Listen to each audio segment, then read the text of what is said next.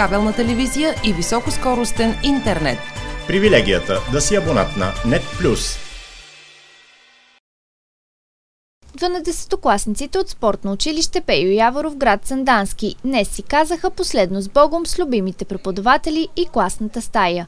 Вълнуващ и емоционален бе за всички момента на посрещането на десетимата ученици от 12 А клас с ръководител Людмила Попова. На церемонията по изпращането на випуск 2022 година в спортното училище тържествено бе предадено и прието знамето на училището, а също така бяха наградени и най-добрите ученици от випуска. Учениците от този клас са отлични спортисти в сферите футбол, борба и плуване. Всеки от тях сега ще поеме по своя път на развитие. За емоциите от днешния ден разговаряхме с директорът на училището Николай Марков изключително съм развълнуван. Частича от себе си не напуска. Но се надявам, че тези ученици ще бъдат първо горди със своите постижения. След това ще се гордеят с нас, преподавателите, които все пак показахме и дадохме всичко от себе си да, направ... да направим така от тех едни добри граждани, едни добри спортисти и да се надявам бъдещи колеги, преподаватели. Наистина съм много разстроен, защото всяка една година, тръгвайки си даден, даден випуск от училището, така в мене нахуват едни много смесени чувства, където въобще не искам да се разделям абсолютно с никой от колегите и с колегите, с колегите им предвид колегите ученици, защото това са бъдещите преподаватели спортно училище град Сандански. Каква... Се надяваме, че ще, ще да, да се надявам, че в близко бъдеще ще ги очакваме тук отново. Каква специалност бяха учениците, които сега напускат училището?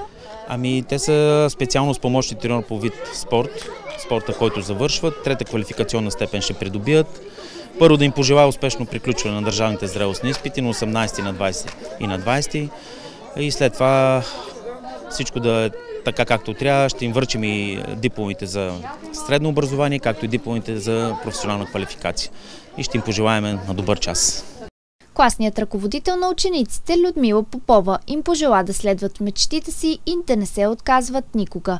Да продължават да бъдат единни, макар и вече само като приятели в живота. Накрая на церемонията учениците от випуска подариха на директора своя снимка, която да бъде техният отпечатък в това училище и пуснаха балони с хели, символ на поемането им на нов път в живота. 6, 7, 8, 9, 10,